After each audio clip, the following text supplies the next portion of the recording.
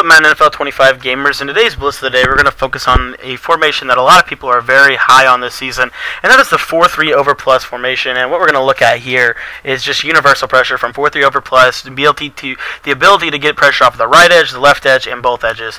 And for that, we're going to look at the cover three.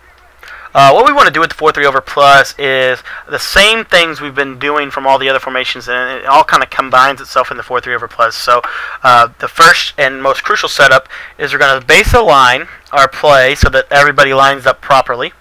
We're then going to, and this is where the 4-3 over plus is a little bit better and differs a little bit from all the other. We're going to spread our defensive line, and we're going to crash our defensive line down. Now that's the basic front for every single pressure setup we have. Then we're then going to proceed to spread our linebackers. Now, whatever side we want to send the pressure off of is the side that we're going to we're going to blitz our linebacker down. So here in this example, we want to send it off the left edge. So we're going to hit RB or R1 on PlayStation 3, flick the right analog stick to the left to re-blitz the left of screen linebacker, and then we're going to make one other adjustment. We're going to quarterback contain the left of screen defensive uh, defensive tackle Peko here, and then we can just use her the middle linebacker. I like to stand over the center for some reason this year. Uh, if you're just standing, you don't have to hold him. If you're just standing in line with the center, he'll just pick you up, and then the pressure will come in. Uh, and here you're going to see five-man edge pressure there uh, off of that left side. Now, for those of you who like more advanced setups and like to have more guys in coverage, you can certainly do that out of this formation. Uh, that's why we like it a little bit more than all the other ones. Everything's the same uh, that I just said to do. The only thing you're going to do now is you're just going to quarterback spy both guys on the left side of the uh, on the right side of the screen here, um, and that's going to allow you to now have two spies in coverage. Uh, for those mobile quarterbacks and stuff like that, and it takes really, it actually makes it really good against drags and stuff. So I like that about the four three over plus. Okay, excuse me.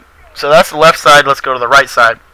Uh, base line spread your defensive line, spread your linebackers, and then you're just going to crash your line down. Everything's the same, and since we're sending off the right edge this time, we're going to send, we're going to hot blitz or globally blitz the right of screen outside linebacker by using the uh, strategy pad quick links.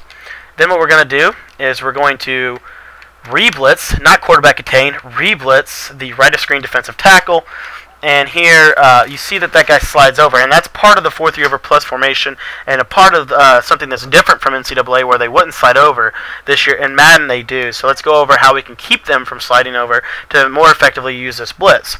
Well, what I like to do is I like to base align. Everything's the same. Set it up all the same.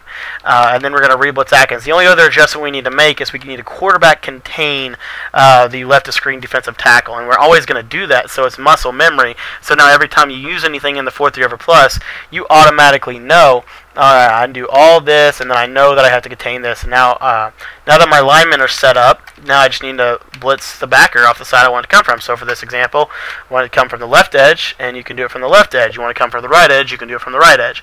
So it's all the same setup. So eventually, guys, and this is how you get fast with your user skill, when you know your setups, when you know what to do, and you work on them, and you work on them, it gets muscle memory down, and you just do them every single time. And, and now we can send two-way heat as well. So once again, here's how you send two-way pressure. I know I've been going a little quick here. Let me try to show you the two-way heat. So two-way is very simple. We're going to um, do everything we just did in the first and second setup, and we're going to combine them into one. So base a line, spread line, spread linebackers, crash line down, re-blitz both linebackers. Now, since you're sending off of both sides. Now, we're going to quarterback contain Peko, since we did that on the left edge, and on the right edge, we're going to set it up like we're sending it just off the right edge and re-blitz Atkins. And now you see, um, now you see that this is the front look that you're going to have. Uh, right there it is, and you're going to get two guys free at the quarterback. Why is two guys free at the quarterback important? Well, if they try to pick it up by blocking a running back or sliding their line or whatever they may try to do uh, to pick up pressure in this game, the six-man pressure will almost always uh, get in versus any uh, pass protection idea or concept, and that's why I love this, uh, this these, these these formations I've been breaking down this week, especially the 4-3 over plus because of the ease it is uh, to send uh, two-way pressure at your opponent. And uh, it's very important to know how to do that uh, for guys who like to slide their line uh, and, and, try to pick up pressure. Here we're going to slide our line to the left and we'll block our running back, and you see we're still going to get a guy free. So definitely add this 4-3 over plus blitz into your scheme. And be sure to come back later on in the day where I break down some more videos and, and some more concepts and stuff. Hopefully it can get you uh, a little bit better at Madden every single day. And uh, be sure to subscribe if you guys enjoy these tips. Uh, last thing, guys, if you have any questions or need further instruction on this play or anything in particular, let me know in the comments. I'll try to get back to you as soon as possible. Thank you guys so much for another great opportunity to share with you guys. I hope you enjoyed it. Have a great day. We'll see you guys tomorrow morning.